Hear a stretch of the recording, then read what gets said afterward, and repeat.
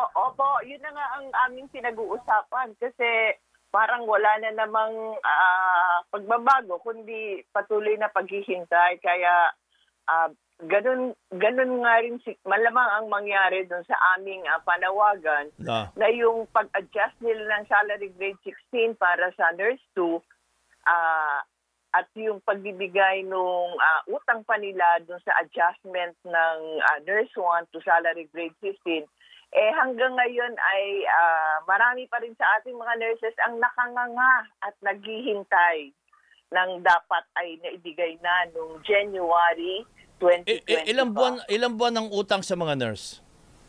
Ah, nagsimula po yung ah, implementasyon ng ah, dapat yung reversal ah, ng kanilang order ah, dapat January 2020 kasabay nung pagpapatupad nung ah, adjustment sa nurse 1 na salary grade 15. Ayun. Ah, so yun po na ang ah, utang ng ating pamahalaan sa mga nurses Kaya na hanggang pala- ngayon. Oo. oo. Oo. So, wala muna kayong aasahan ngayon. Eh, hindi natin alam kung mababudgetan by next year. Kung sakalit may budget, baka malinaw na na matatanggap na yung mga kinakailangang allowances ng mga nurse.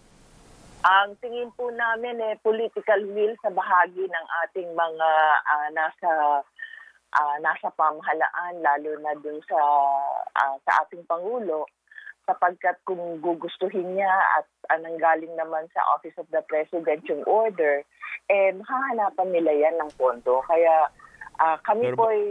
Palagay ko mahirap po maghanap ngayon na Miss Lenny kasi naghahanap din tayo para sa bakuna.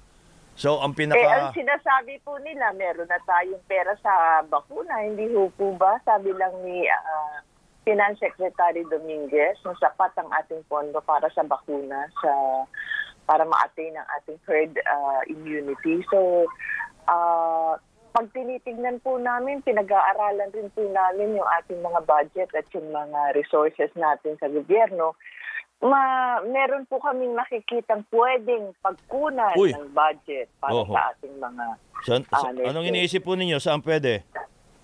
Eh unang-una po yung ah, sa intelligence ng ating Ah, intelligence fund. Ah, pwede. Opo, sa intelligence Oo. fund. Oo. At yung mga hindi na i-pagpatuloy na proyekto ng Department of Health Ah, okay. at ng mga iba pang mga ah, ahensya tulad ng DPWH. Mhm. So, meron pong pwedeng gawing realignment ng mga pondo para ah, maipatupad naman nila yung kanilang pangako na pagtataas ng sahod na matagal nang hinihintay ng ating mga nurses. Okay. So baka ho by next year yan. By this year, palagay ko, ay wag muna tayong umasa. ho. Baka next year, kung sakali, let's cross our fingers. Ah, Pagpapatuloy po namin ang aming panawagan. Opo, opo. Miss Lenny, maraming maraming salamat po. Good morning.